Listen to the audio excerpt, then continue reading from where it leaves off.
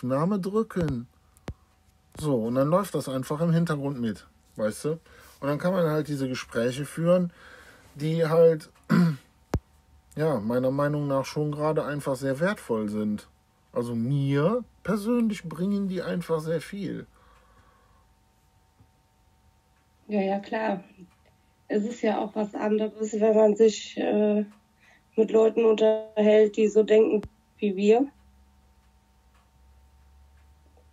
Klar, natürlich, weil das ja deinen Fokus halt eben. gar nicht erklären. Ne? Ja. Und du brauchst dich ja auch jetzt nicht, nicht vor mir rechtfertigen. Ja, nee, das ja. Hat, hat ja damit nichts zu tun. Ne? Es ist halt, es ist halt einfach deine, die, die, ähm, die Qualität dessen, womit dein Gehirn sich beschäftigt, wenn du dich mit jemandem unterhältst, der halt, den das auch interessiert, was dich interessiert, dann hast du halt eben jede Sekunde, die du damit beschäftigt bist, fütterst du halt eben damit, das fütterst du mit deinem Interesse. Das heißt, in dir wächst ja dann auch was, was du dann irgendwann tatsächlich mal als wissend auch verwenden kannst. So, und deswegen finde ich das halt eben so praktisch und cool, wenn man halt eben seine Zeit damit ver verbringen kann, nicht verschwenden braucht eben, und das war das, was ich gerade eben meinte, das ist für mich echt, seitdem ich Facebook, also ich habe vorher wirklich Stunden meines Tages in Facebook und in Instagram verbracht. Und das überwiegend schriftlich. Ich habe immer noch mit sehr vielen Leuten kommuniziert, aber meistens schriftlich. Ich habe so gut wie nie telefoniert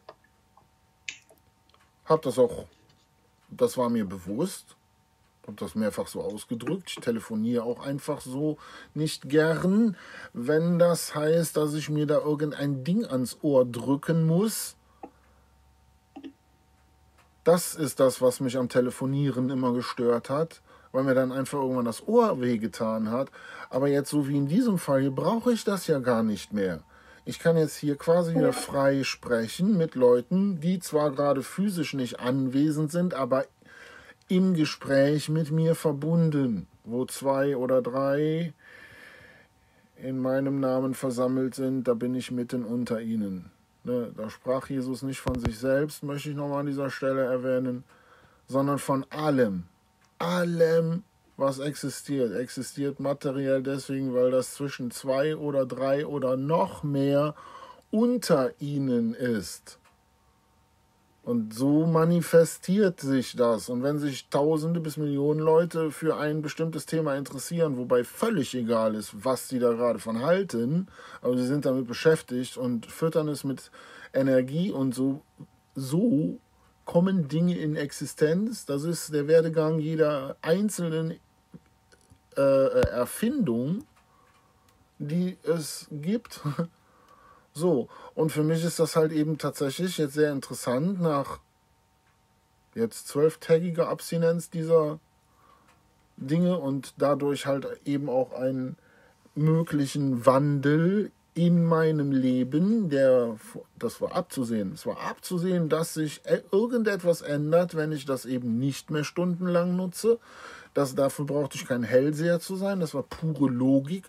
Und da ich es auch noch wusste und dann auch noch wusste, dass es an mir liegt, welche Richtung, in welche Richtung es dann weitergeht, äh, habe ich halt einfach ganz bewusst mich dafür entschieden, mich wieder mit den Dingen zu beschäftigen, die mich wirklich interessieren. Das hat vor allen Dingen mit Persönlichkeit, also Persönlichkeitsbildung, nee, Menschwerdung zu tun. ne, das ist genau das Gegenteil eigentlich. Und ähm, jetzt kann ich halt auf diese Weise tatsächlich mit euch wieder eins zu eins reden. Mit dir, letztens so wunderschön mit der Nadine, mit dem K1 habe ich jetzt schon telefoniert, mit, äh, mit, mit der Maike. Und, und das sind halt alles so Gespräche, die auf einmal eine Stunde dauern, weil ich denke so, Alter, ey, boah, wenn das jetzt wieder irgendjemand anders gehört hätte, ne, da weißt du ganz genau, da sind halt welche Leute dabei, die denken, boah, ey, wo ist die nächste Klapse, wo du die reinstecken kannst, aber andere wissen ganz genau, wovon wir reden, weil die nämlich solche Sachen mittlerweile auch halt eben schon gefunden haben und auch als wert befunden, diesen Dingen Interesse zu schenken. So.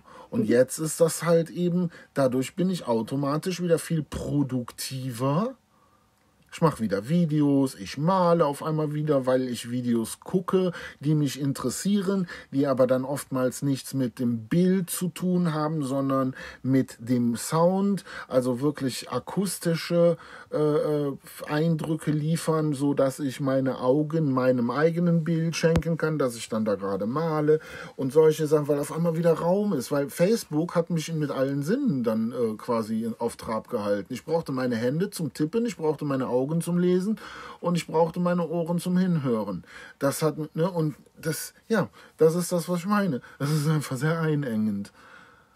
Ne, und es schürt außerdem dann noch Angst und äh, ja, hält sich halt eben auch sehr ans Narrativ, wobei das halt eben das ist, was in den, in den sozialen Netzwerken eigentlich nicht zu bändigen ist, weil halt eben viele Freigeister sich da auch noch rumtummeln, aber es ist halt eben trotzdem auch sehr diktiertes Programm. Immer noch. Halt auch in den alternativen Kanälen.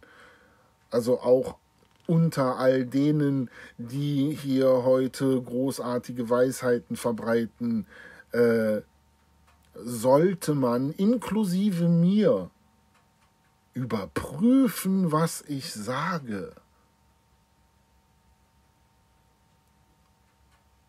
Ja, also, man sollte alles hinterfragen, verstehst du? Weil selbst ja. wir wissen, guck mal, ich weiß immer, egal was ich weiß, dass ich ja im Grunde gar nichts weiß. Ja. Weil das ist ja, also wenn ich mit anderen Leuten diskutiere, auch über Corona, sage ich immer, weißt du, das Problem ist, unser Wissen ist ein Tropfen und alles, was wir nicht wissen, ist das ganze große weite Meer. Ja, Im Grunde, ja. ich will auch mit keinem streiten, weißt du, ich genau. möchte einfach nur in Frieden leben und ja. ich, dazu gehört halt auch, dass ich andere Leute in Frieden leben lasse. Genau. Na? Genau. Mit dem Wissen, dass wenn wir uns gegenseitig in Ruhe lassen, jeder von uns in Ruhe leben kann. Geil, ne? Also das ist auch einfach Logik. Das ist nicht irgendwie links oder so, das ist einfach logisch. Ja, ich weiß nicht, also ich glaube so, wenn ich so höre, auch ähm, jetzt wie Leute einfach in linke oder rechte Ecken gedrückt werden, ne? Äh, weil sie irgendeine Meinung vertreten, die jetzt gerade nicht, sage ich mal, die Meinung der, äh, der Mehrheit, der meisten Leute hier irgendwie gleichkommt da bist du ja direkt abgestempelt in irgendeine Richtung. Ich habe schon alles gehört. Also ich weiß, dass ich bei manchen Leuten link, die Linke bin. Bei manchen, aber es, es gibt auch Linke, bei denen bin ich dann eher wohl die Rechte, die gucken dann doof. Ich habe manchmal Meinungen, die dann halt da auch nicht passen. Und ich muss aber sagen, ich fühle mich wohl damit, dass ja. ich nirgendwo so richtig reinpasse. Ja. Also jetzt politisch ja. gesehen. Ne? Kann ich sowas von nach, nachvollziehen. Ich will da gar nicht irgendwo zuordbar sein. Es soll für mich auf jeden Fall eine. Ich freue mich, dass die Leute mich da nicht einordnen können, weil äh, ich da eben auch gar nicht in keine der angebotenen Kisten rein will. Ich will mich zu überhaupt gar nicht davon positionieren, weil ich das ganze Spiel doof finde. Ich will nicht mitmachen. Ich habe äh, andere Vorstellungen vom Leben als Deutscher zu sein und bloß weil ich mich darüber definiere, deswegen eine Angela Merkel oder sonst wen als, als meine Autorität anerkennen soll. Das ist so ein. Ja, ich glaube aber, da hat sich jetzt gerade was verändert. Ich bin mir nicht sicher, ist die Merkel noch aktuell oder bin ich nicht auf dem neuesten Stand? Weißt du, das Schöne ist, es interessiert mich nicht, ich will es nicht wissen. Okay, ich weiß es nämlich auch nicht. Ich, ich weiß es interessiert nicht, mich nicht. Mir braucht keiner irgendwann zu erzählen, wer jetzt der Nachfolger von der Frau Merkel ist. Ich will, es interessiert mich genauso wenig wie wer äh, Bürgermeister von Timbuktu ist, weil es mit meinem Leben nichts zu tun hat. Nada. Ja. Weiß auch nicht, wie ich da gerade drauf gekommen bin. Ja, nee, das ist halt eben, weil es them themenbezogen ist. Deswegen bist du drauf gekommen. Logisch. Das ist es ja. Das ist ja das, warum ich sage, ich bin froh, dass ich da raus bin. Ich, und wirklich für mich, jedes Mal, wenn ich darauf, ich habe, etwa, das ist total geil. Ähm, durch meine Einstellung, also wir wissen ja, dass, dass quasi jede Krankheit quasi Auswirkung einer ungesunden Denkweise ist, ja, die dann zu ungesunden Verhaltensweisen führt und bla bla. So. Ähm, im Umkehrschluss, wenn du gewisse Verhaltensweisen eben nicht mehr so blöd anwendest oder dir antrainierst, dann, dann hast du ein gesundes Verhalten. Und dann kommen äh, gewisse Sachen nicht mehr so. Und Allergien, da weiß man das noch viel mehr, dass das psychisch ist, als was man jetzt mit einem Beinbruch sehen könnte. Auch der Beinbruch kommt von einer Unaufmerksamkeit. Ähm, also es ist auch definitiv Folge einer ungesunden Verhaltensweise dann. Ähm, es sei denn, man fügt sich halt absichtlich zu. Gibt's auch. Aber selbst das ist dann auch nicht unbedingt gesund. Aber manchmal macht man sowas, weil keine andere Wahl hat. Ähm, und ähm, dann ist es halt äh, mit den Allergien tatsächlich so, dass man sich die zunutze machen kann. Ich habe eine Aversion entwickelt, die sich offensichtlich anfängt, schon körperlich auszudrücken. Es fängt, also zum einen ist es, es fängt damit an, dass wenn ich ein Mainstream-Thema als solches erkenne, sofort meine Hände zurückzucken, will ich nicht sehen, respektive, wenn da schon was läuft, aus, ausmachen, weg, weg vom Monitor, subtrahieren aus der Wahrnehmung. Möglichst effektiv und schnell. Und bis das geschehen ist, fange ich an zu zittern also so äh, jetzt nicht so äh, wie die Frau Merkel bei der, ja doch, vielleicht so ein bisschen in die Richtung schon. Also wenn ich es weitermachen würde, würde es mir wahrscheinlich so gehen wie der Frau Merkel, wie wenn die äh, die deutsche Nationalhymne hört. Dann ist sie emotional okay. so gepackt, dass es sie körperlich schüttelt. Ja? Und das habe ich, ich merke, dass mein Körper Abwehrreaktionen zeigt. Und das ist, ich habe das, ich werde das jetzt mal ausprobieren. Eine Minute werde ich mir geben und nochmal irgendwas angucken von dem, was ich mir vorher angeguckt habe. Bloß um da halt eben zu, ne, so sicher fühle ich mich jetzt. Ich weiß, dass, was ich sage, eine Minute, dann wird es bei einer Minute bleiben. Maximal, wenn ich das überhaupt muss aber ich will ganz offen wissen, ob mein Körper irgendwelche Reaktionen physischer Art zeigt, wie ob irgendwas anfängt zu jucken, ob ich anfange, mich zu kratzen irgendwo oder sonst irgendwas. Will dabei aber unbedarft, ich will das nicht, ich will, also es stört mich auch nicht, wenn es nicht so ist, dann bin ich da auch sehr happy drüber, brauche ich ja nicht unbedingt. Aber es interessiert mich trotzdem mal. So, und wenn ne, Notfall muss ich mal irgendwann, das mache ich aber jetzt noch nicht, muss ich mir eine Viertelstunde anzugucken, ob ich dann nicht sogar Hautausschlag bekomme. Ich weiß ja, was für geile Hypochonder wir sind. Ich weiß ja, dass jeden einzelnen Ausschlag, den ich jemals hatte, nur aus solchen Gründen hatte. Weil ich davon überzeugt bin, dass mich das krank macht. Dein Glaube hat dich geheilt, weißt du noch? Der gleiche, der dich krank gemacht, also deine Überzeugungskraft, deine, deine Sichtweisen haben dich krank gemacht. Und deine, deine Sichtweisen haben dich gesund gemacht. Weil etwas passiert ist, von dem du überzeugt bist, das ist jetzt die Rettung für mich. Ja, hauen Sie, nimm dein Bett und geh, Bro. Hauen Sie rein. Dann bist du jetzt gesund, weil ich meine Hand auf deine Stirn gelegt habe. Glaubst du. Aber ich sag dir nicht, dass, du mein, dass ich meine Hand auf deine Stirn gelegt habe, sondern weil du davon überzeugt bist, dass wenn ich meine Hand auf deine Stirn lege, dass für dich dann die Welt wieder in Ordnung ist. Das hat dich gesund gemacht. Jetzt nimm bitte dein Bett und diese Information mit und geh.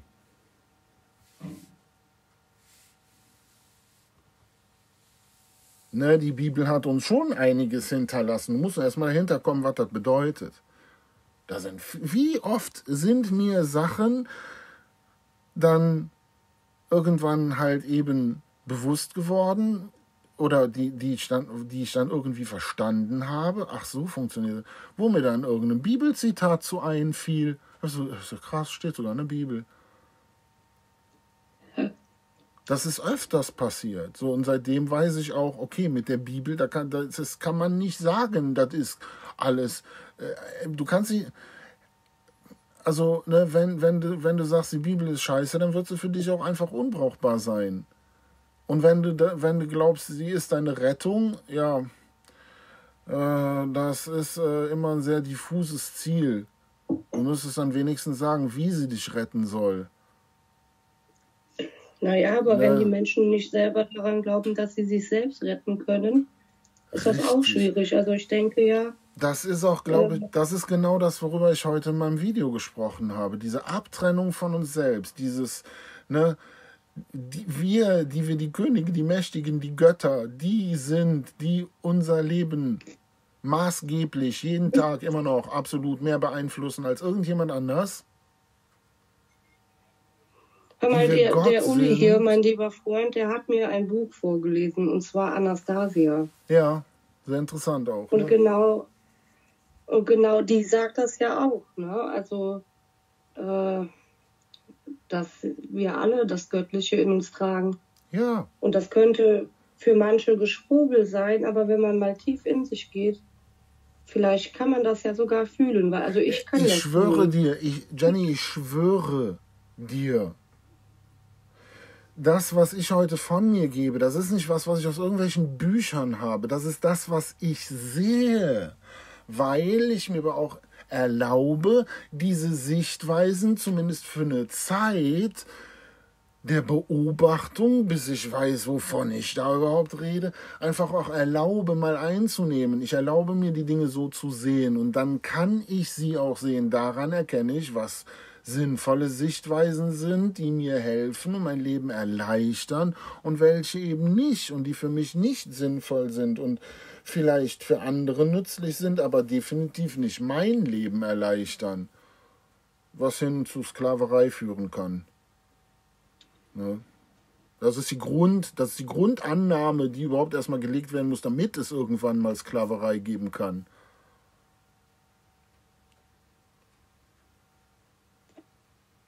Ne, und da kann man sich lange überlegen und darüber reden, ob das ja Recht des Stärkeren oder bla oder. Hey, ich rede, da kommen die mir mit irgendwelchen politischen Sachen. Und hey, wenn wir anfangen, einfach zusammen zu arbeiten, dann wird es diese ganzen Sachen nicht mehr geben. Es wird dann niemand mehr den Grund haben, irgendwen zu ermorden, auszurauben, sonst irgendwas. Weil in dem Moment, wo wir wieder Zugang zu uns selber finden, wir feststellen, dass nicht, ja, relativ, äh, entsteht halt eben auch alles in Relation zueinander. So, und wenn, ja. wenn wir halt eben auf einmal wieder erkennen, dass wir eigentlich selber viel, viel mehr wert sind, ja, da wird es auch sowas wie Eifersucht nicht mehr geben die wird obsolet, die wird keiner mehr empfinden, weil es dafür, weil die, weil der Boden dafür entzogen worden ist. Wenn wir mit uns selbst wieder eins werden, wenn wir von dieser Entfernung, die wir durch die Kirchen, die Religionen erfahren haben, halt wieder rückgängig machen können und uns wir wieder uns selbst annähern kommen, ja, das ist eine Umkehr in vollem Umfang. Das bedeutet letztendlich, dass nicht nur wir selbst, sondern jeder, jedem, dem das, jeder, jeder, der das tut, der, der umkehrt und wieder zu sich selbst zurückgeht und sich von diesen ganzen erfundenen Themen, die alle angeblich so wichtig sind und von irgendwelchen Mustern und was weiß ich was einfach mal löst und befreit und einfach sagt, so, hey, Moment mal, was ist denn eigentlich mit mir? Und warum sehe ich alles so, wie ich es sehe? Ja, das ist eine super interessante, also eigentlich habe ich noch nie irgendwas Interessanteres in meinem Leben gefunden als das. Was ist eigentlich mit mir? Warum sehe ich Dinge so, wie ich sie sehe? Ey, da war, da auf einmal war ich im Film drin, aus dem bin ich überhaupt nicht mehr rausgekommen, aus dem will ich auch überhaupt gar nicht mehr raus, weil davon rede ich ja auch die ganze Zeit. Ich würde das ja nicht bewerben, wenn ich das nicht so wahnsinnig toll fin finden würde. Und ich bewerbe das nicht, weil ich da Geld für kriege oder sonst irgendwas, sondern ich bewerbe das, weil ich da in vollem Umfang von überzeugt bin. Und mir das hilft. Und das ist einfach was, das gebe ich unheimlich gerne in voller Liebe weiter, weil ich weiß, was das bewirkt, wenn das auf einmal anfängt zu synergieren wenn auf einmal nicht nur einer, gerade jetzt mit sich selber, wieder auf einmal in Einklang kommt und sich selbst wieder erkennt, und, äh, sondern halt auf einmal Leute aufeinandertreffen, die sich darüber unterhalten können, was sie dabei erfahren, wie das bei ihnen ausläuft und dann aber auch den Leuten das Konstrukt mitgeben können, so näher dich dir selbst, fang an, dich einfach mal für dich selber zu interessieren. Das hat nichts mit Egoismus oder Egozentrik zu tun. Das sollte der reine Selbsterhalt Erhaltungstrieb erlauben und, und, und vorgeben. Das ist nicht egoistisch. Es ist auch nicht egoistisch, meine verkackten Wunden zu lecken, oder? Aber das lassen wir uns eben weiß machen. Wir lassen uns alles weiß machen, bis hin zu, dass es verboten ist von der römisch-katholischen Kirche und zwar durch ein Dekret das von Paul II. gemacht wurde. Den kenne ich noch als amtierenden Papst. Das ist nichts, was irgendwie uralt wäre. Es ist von ihm verboten worden, sich auf der Suche nach Gott mit sich selbst zu beschäftigen. Das ist das Tüpfelchen auf dem i des Ganzen. Ja, aber genau das ist ja so wichtig und dafür braucht man Zeit. Ja. Aber jetzt haben wir, sind wir Menschen, also wir zwei jetzt speziell, ne, mhm. die Zeit dafür haben und sich die Zeit dafür nehmen können, dürfen, wie auch immer. Deswegen mache ich Wenn ja gerade so viel Werbung mhm. dafür. Nehmt euch diese Zeit. Guck mal, alle meine Freunde, ne, die haben alle Jobs, sind beschäftigt. Mhm. Ne, einige meiner Freunde haben auch Kinder. Mhm die sind so beschäftigt und so unterwegs. Ich kenne aber auch Leute mit Kindern, die da nicht drin hängen. Die haben die nötigen Schritte getan, um rauszukommen. Auch mit Kindern. Nicht auch mit Kindern, sondern eben wegen ihrer Kinder. Die Richtig, waren die, die, die Kinder nicht als Entschuldigung vorgeschoben haben, aus ihrer Komfortzone rauszukommen, sondern das waren die, die für ihre Kinder ihre Komfortzone verlassen haben. Und die können mittlerweile, die, ja. Ne? Hey, da ist, ja. das sind mitunter bekannte Leute wie die Dagmar Neubronner, deren Sohn mittlerweile so alt ist, dass das Abi hinter sich gebracht und das ohne in die Schule gegangen zu sein. Das ist damals sogar in den Medien kurz aufgetaucht. Oder ein André Stern, der heute Vorträge ja, hält. Ich weiß nicht, wie viel und nie in der Schule war.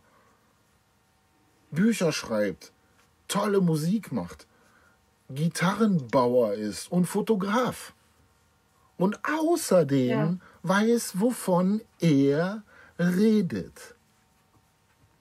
Weiß es, weil er das, was er wiedergibt, aus empirischer Erfahrung, ja, aus wirklich wahrer Forschung äh, heraus, die er selbst. Ja, Ne? Also der hatte wirklich Glück, weil meine Mutter, ne? Ja. Ich habe die so, die hat mir dieses Jahr gesagt, Jenny, es tut mir leid, dass ihr das alles erleben musstet. Ich so was. Ja, die Schule zum Beispiel und mhm. so. Sagt sie, wenn ich heute, mit dem Wissen von heute, hätte ich euch früher nicht in die Schule geschickt. Mhm. Und das fand ich sehr schön, dass sie das sagte, weil ich muss auch gestehen, äh, dass ich unter diesem Schulsystem gelitten habe. Ich war nie dumm, ich habe mich nie dumm gefühlt, aber dieser Unterricht hat mich nicht befriedigt geistig, also war ich geistig sehr oft abwesend. Ne? Also mein Lehrer hat das mal schön beschrieben. Er sagte, Jenny, wenn ich dich beobachte hier in meinem Mathematikunterricht, dann ist es schön, dir zuzusehen, wie du erst mit deinen Augen weg von der Tafel schweifst Fenster Und irgendwann, sagt er, habe ich das Gefühl, bist du da ganz weit oben. Und er hatte es genau erfasst. Ich habe dann, und das war ganz komisch, dass der das gesehen hat, ich war nicht in der Klasse.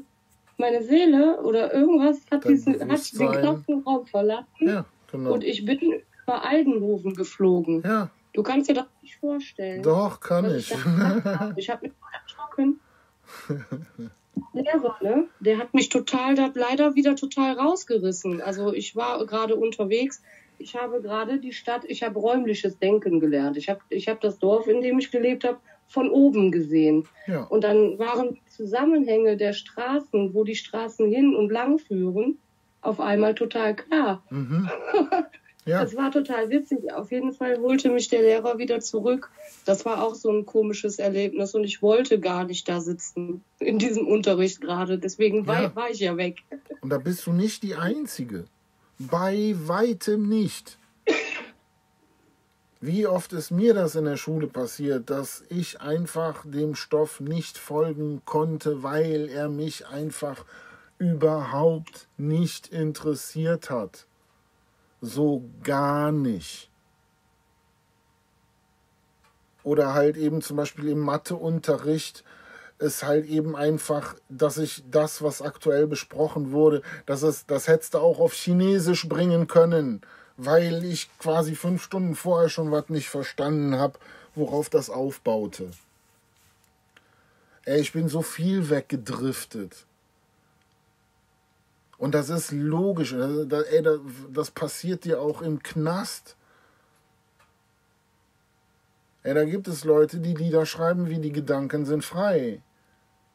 Ja, das haben die bestimmt nicht gemacht, weil die immer Freiheit erfahren haben. Sonst wären die überhaupt gar nicht auf die Idee gekommen, das überhaupt zu erwähnen. Die Gedanken sind frei. Ja. Du kannst einen menschlichen Körper in den Kerker setzen. Und das ist das, was ich halt im Gefängnis auch ausprobiert habe. Ne, jetzt sitzt du hier. Okay. Was denn jetzt? Ja, viel ist nicht möglich. Was hast du?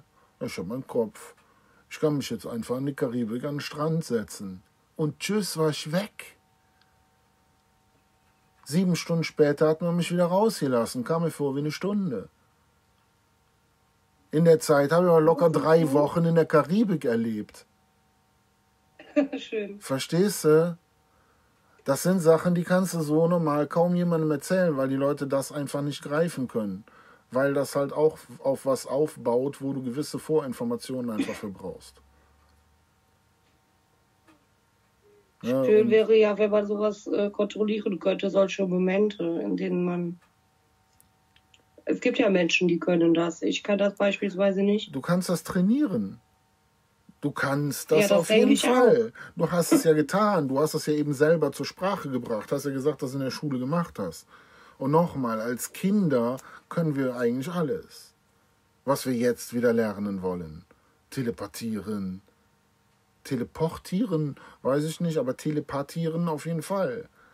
Die Sprache des Herzens sprechen, hatten wir eben das Thema. Ne, Nochmal, als Kinder können wir uns verständigen. Da brauchen wir kein, das ist, da, da reicht das tatsächlich teilweise, äh, da brauchen wir noch nicht mal die Muttersprache gelernt zu haben. Mit anderen Kindern können wir uns verständigen. Vielleicht nicht immer schön, aber klar und deutlich. Da gibt es keine großen Diskussionen. Und trotzdem kommen die klar. Die können und Hunde und, und Katzen und Tiere überhaupt, die können alle, ihre, alle ihren Rang abstecken. Nur bei uns pervertiert das irgendwie. Weil wir verlernt haben, unsere Mittelfinger vernünftig zu benutzen. Ich finde das immer wieder sehr interessant, wenn ich den Friedensfinger jemandem zeige und ihm, klar, das ist der Fried, immer so eine Abwehrhaltung kommt weil die Leute das nur als aggressiv kennen. Nein, der Mittelfinger ist alles andere als aggressiv. Den kann man mit einem aggressiven Gesicht präsentieren, muss man aber überhaupt gar nicht. Haben wir aber so kennengelernt, scheiße, ne? Dadurch ist uns die Fähigkeit verloren gegangen, unseren Fried zu nutzen, um Leuten zu zeigen, wo Grenzen erreicht sind. Und das können wir selber wesentlich besser als in, und mit Hilfe von irgendwelchen Politikern, die uns dann alle über einen Kamm scheren und für alle gleich geltende Gesetze machen und dann jeder gucken, wie er damit parat kommt. Ne? Und eigentlich kommen nur die damit parat, die schön obrigkeitshörig immer machen, was man ihnen sagt. So. Und so wenige können, so wenige Ausnahmen können die anderen nicht sein. Sonst wären die Gefängnisse nicht so voll. ne? Und es sitzt ja nicht jeder Kriminelle im Knast oder in der Klapse. Das sind all die Aussortierten. Das ist ein Boom im Moment. Das sind die Aussortierten. Das sind die, die mit dieser Übereinkammscherung und der Gesetzgebung, die darauf halt eben nicht parat kommen. Ja, du musstest, ich musste gerade eben schmunzeln. Die kommen ja nicht kriminell das, auf die Welt, ne? Nee, das Problem ist ja, dass, äh, dass die von diesem, ich sag mal, System, ich mag dieses Wort aber irgendwie auch nicht, oder die Gesellschaft, weißt du, die hat die Menschen ja so gemacht. Die sind ja eigentlich, sind das ja nur Verletzte, also was heißt nicht nur, aber sehr viele von denen sind halt auch sehr verletzte Menschen. Man hat sich um die aber nicht gekümmert. Ja. Die Seele ist verkümmert ja. und irgendwann neigen wohl Menschen dazu, ich kann das nicht nachvollziehen, aber ich muss ja aus eigener Erfahrung sagen, ich habe ja nicht umsonst diese Gerichtsverhandlungen gehabt und ich habe mit so einem Menschen zu tun gehabt, ja. bei dem ich einfach glaube, dass der im Leben, also das ist keine Entschuldigung für das, was dieser Mensch getan hat. Ja? Also jeder Mensch muss für das, was er tut, auch Verantwortung übernehmen können. Und wenn man das eben ganz schlecht kann oder damit nicht umgehen kann, dann kann man andere Leute auch nicht schlecht behandeln. So. Ja.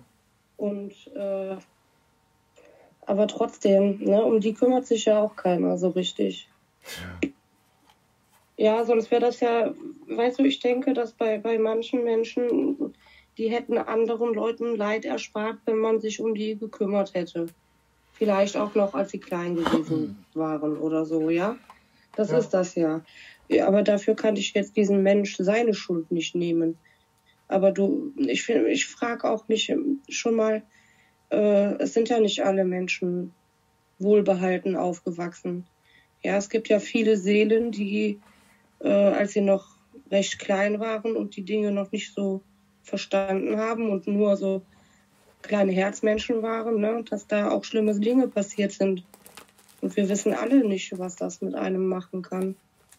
Ich habe jetzt im Erwachsenenalter zum Beispiel Gewalt und so erfahren und ich sage dir, das ist an meiner Seele auch nicht spurlos vorbeigegangen. Das geht nie spurlos an einem vorbei. Gewalt ist eine Information, die der Empfänger nicht will. Bekommt er sie trotzdem, hat er sie bekommen. Du kannst ja nicht einfach wieder vergessen. Und äh, das ist, das ist eine angewandte Technik, Verdrängung. Ich muss jetzt irgendwie damit leben. Wie mache ich das? Also am besten packe ich das irgendwie in eine Kiste und stelle das in eine ganz dunkle Ecke. Aber tatsächlich habe ich da nichts von, weil ich habe das ja irgendwie den Fehler gemacht und bin in die Falle gegangen. Wenn ich mir das nicht angucke, kann es passieren, dass mir das nochmal passiert. Selbst wenn ich es mir angucke, kann es passieren, dass es mir nochmal passiert. Aber wenn ich will, dass ich es irgendwann wirklich im Griff habe, dann kann ich es, dann muss ich es mir angucken.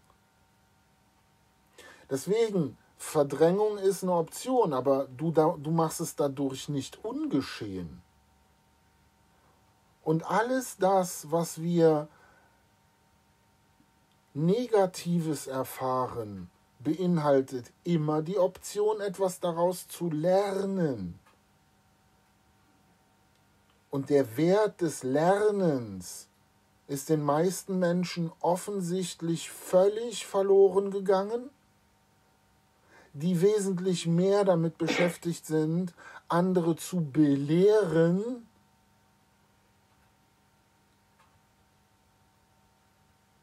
und Recht behalten zu wollen oder sonst irgendwas, als ihren Horizont damit zu erweitern, indem so, guck mal, unser Gespräch ist auch so, ich lass dich offen denken, du lässt mich offen denken und so entstehen diese Gedanken.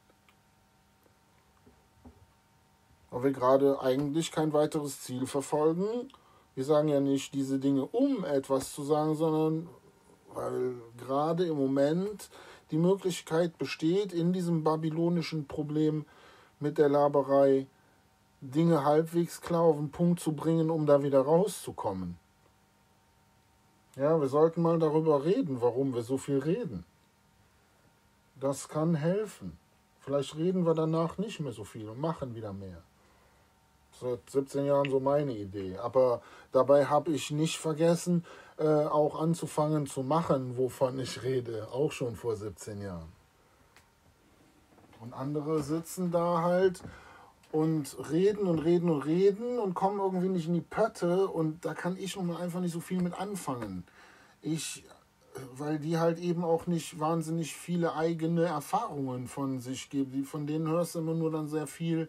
Ähm, was du selber auch schon mal irgendwo anders gehört hast oder so, weißt du, wo du einfach weißt, ja, das, du redest, und ich höre das auch, wenn jemand aus eigener Erfahrung redet oder wenn der irgendwas rezitiert, was er irgendwo Cooles irgendwo gelesen hat oder so, oder gehört oder aufgeschnappt oder so, weißt du, oder sich gerade selber aus der Birne drückt. Und ich rede gerade nicht von irgendwelchen Leuten, ich rede von mir früher. Das, all das, wovon ich gerade rede, ne, das sind alles Sachen, die ich früher gemacht habe. Und heute sehe ich, wie sehr ich mir damals damit auf den, auf den Füßen gestanden habe. Das hat mich behindert ohne Ende. Und ich war behindert. Ich bin nie bezeichnet worden als Behinderter. Aber ich selber sage, ich war sowas von behindert, sowas von wirklich behindert gegenüber heute. Ich kann mich heute so viel freier bewegen als früher. Das alleine ist schon ein Indikator.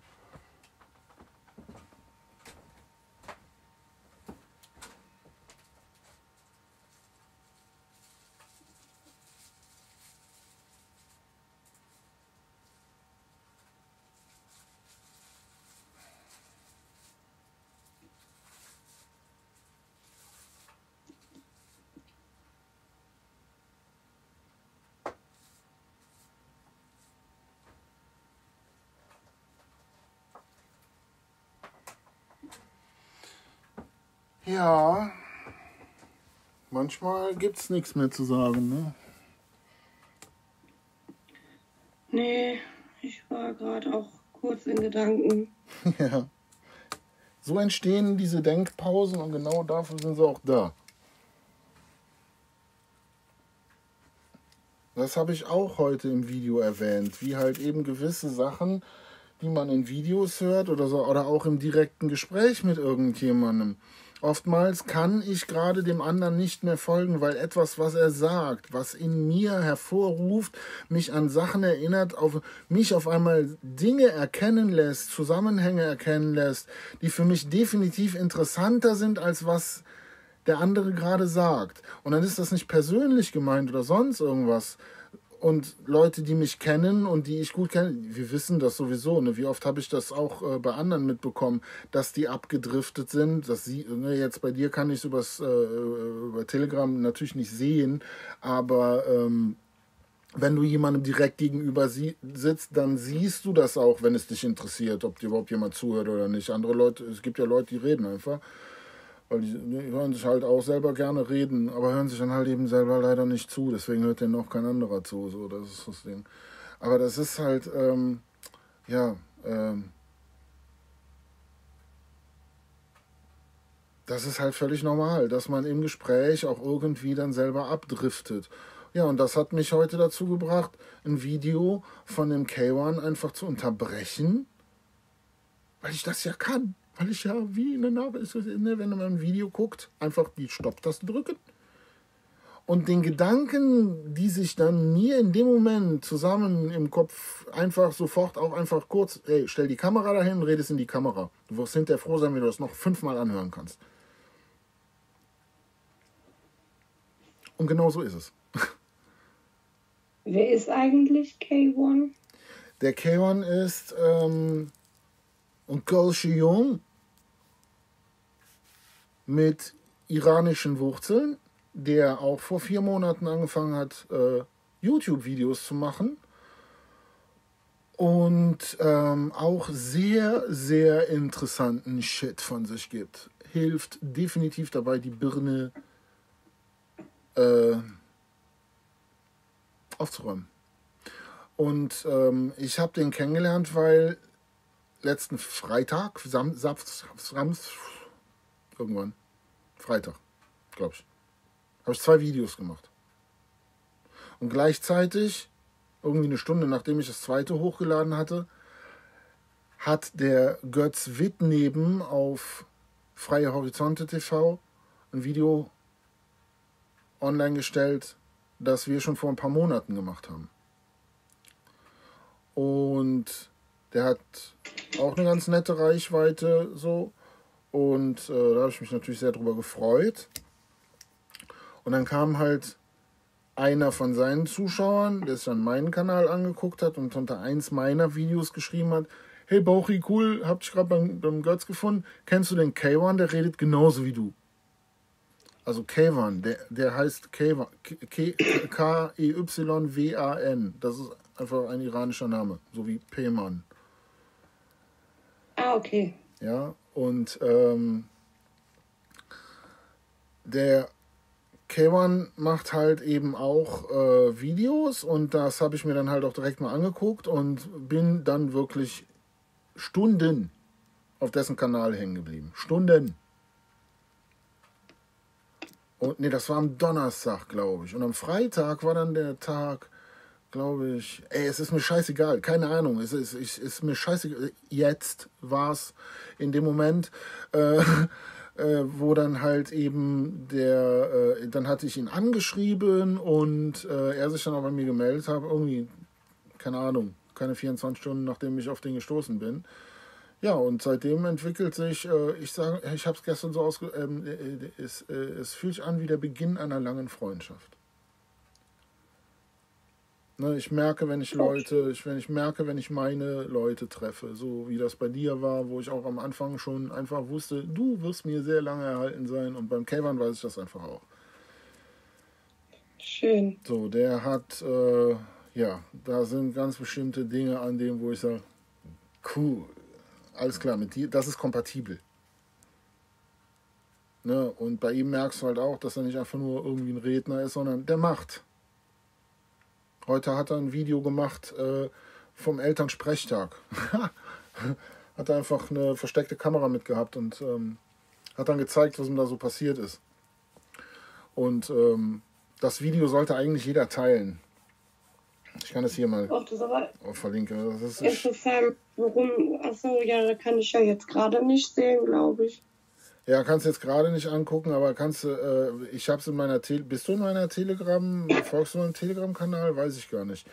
Äh, Was hast du denn für einen Telegram-Kanal? äh, Bauch hier auf Sendung. Achso, warte mal. T- T.me slash Bauch hier auf Sendung. Ach da, okay. Ja. Und da habe ich auch das Video vom, vom, vom äh, K1 äh, geteilt. Und dann hast du, wenn du das anmachst, dann hast du auch direkt seinen Kanal da. K1, K1. Also, K, also Betonung auf K, auf K. Ach ja, also alles lustig auch. Aber natürlich ist diese Anspielung mit K1 auch irgendwie, ist schon, ja, passt schon. Kar, Kar 1. Ja. Ähm, ich muss jetzt aber langsam mal Schluss machen, weil ich auf jeden Fall gerade noch mal schnell rüber äh, dingsen. Ich, äh, ja, ich, hab, ich bin nämlich noch verabredet heute. Boah. Und wir quatschen schon insgesamt eine Stunde und 43 Minuten wieder. Wie, wie mit dir immer die Zeit vergeht. Ich finde das echt bemerkenswert. Da sind einfach wieder fast zwei Stunden weg, aber halt auch wieder so voller Inspirationen immer und sowas alles. Ich finde das immer sehr, sehr toll, sich mit dir unterhal zu unterhalten. Irgendwie. Geht mir genauso. Das sind einfach immer schöne Gespräche.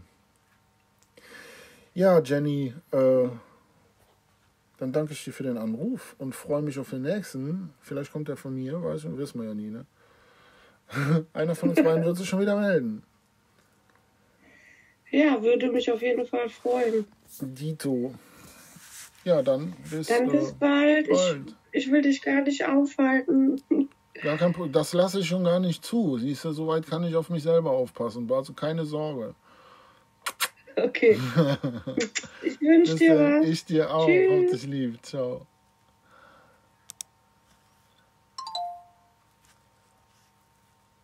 Ja, kann ich an dieser Stelle noch mal kurz einfach sagen, das könnte leicht jedem passieren, gerade der mich anruft. Äh, es wird mitgeschnitten. Es muss nicht unbedingt bedeuten, dass äh, alles davon im Internet landet. Keine Sorge, ne? Aber sowas wie das hier jetzt zum Beispiel, wo ich einfach gemerkt Alter, jetzt, das ist wieder so ein Moment, mach das Ding an. So. Weil ich dachte mir schon in diesem Moment, scheiße, wieso hast du die letzte halbe Stunde wieder nicht aufgenommen? Und da ich das so oft gedacht habe und dann trotzdem den Moment verpasst habe, dann wenigstens noch anzumachen, ne? ja, geht einfach mal davon aus, dass bei Bauchi alles mitgeschnitten wird und habt trotzdem keine Angst, dass irgendetwas Privates im Internet landen soll, das da nicht reingehört. Ähm, ja, bleibt mir gewogen. Tschüss mit F. Gehabt euch wohl. Liebe Grüße an alle und äh, bis neulich.